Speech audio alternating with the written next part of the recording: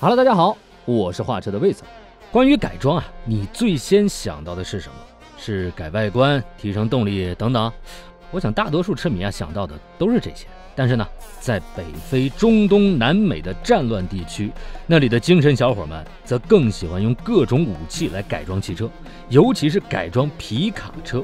那这一期呢，咱就一起来看看，经常扮演屌丝逆袭角色、胖揍坦克的武装皮卡到底有多神奇。在早期，皮卡主要是货运汽车，所以早期的皮卡就采用了非承载式车身，通过减震钢板弹簧与前后车架搭接。这种结构优点啊，就是承重能力强，车身稳定性贼高。缺点呢，就是每一次路面的颠簸啊，都能传到驾驶室。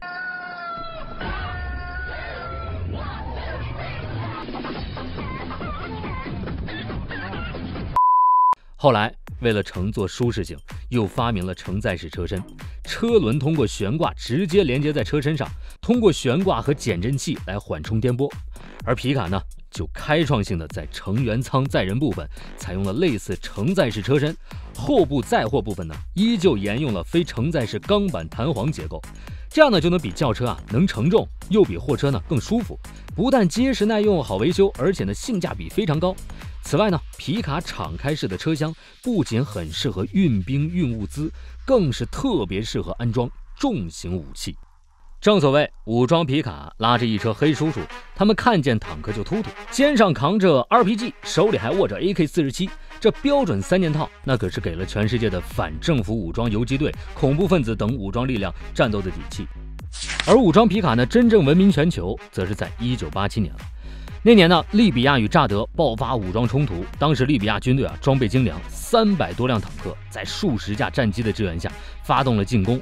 而乍得军队呢就比较惨了，仅拥有着四百辆丰田皮卡，双方实力呢差距明显。但是呢，常言道，只要思想不滑坡，办法总比那困难多。乍得军队这一次啊，将反坦克导弹装上了皮卡。利用机动灵活的特性，在广阔的沙漠里和利比亚的坦克部队周旋、游击穿插，最后居然击败了不可一世的利比亚部队。这一次胜利也直接把武装皮卡推上了神坛。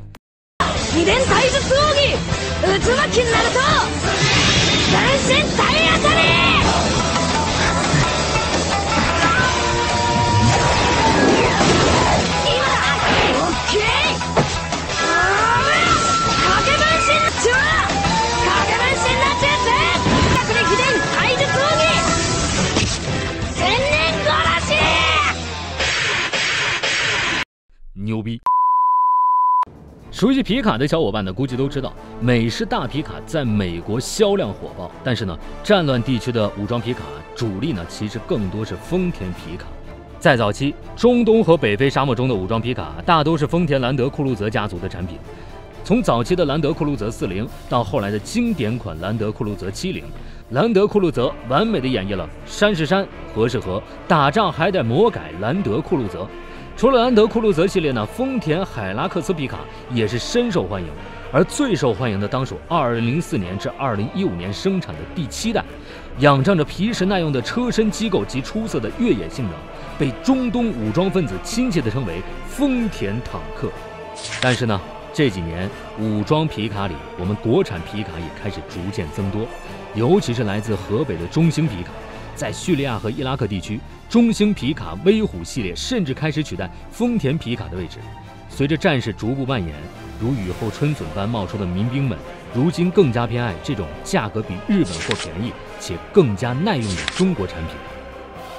那哪些武器才能配得上神话版的武装皮卡呢？小伙伴们，三连安排一波，接下来真正硬核的武器部分走起。在武装皮卡上啊，出镜率最高的当属机枪了。这里边啊，PKM 系列机枪最受欢迎。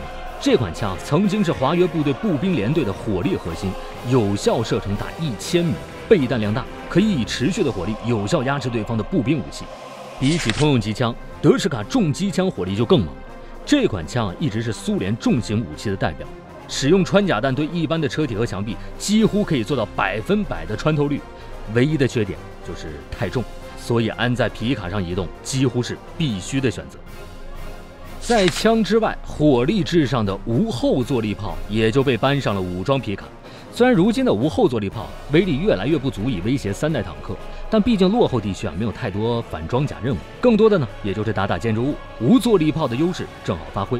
而用来对准天空打飞机的 ZU 二三二高射炮，由于重量较轻，改变了用途，也常年被各路武装广泛部署于卡车皮卡之上，可用于大面积扫射敌军的地面目标。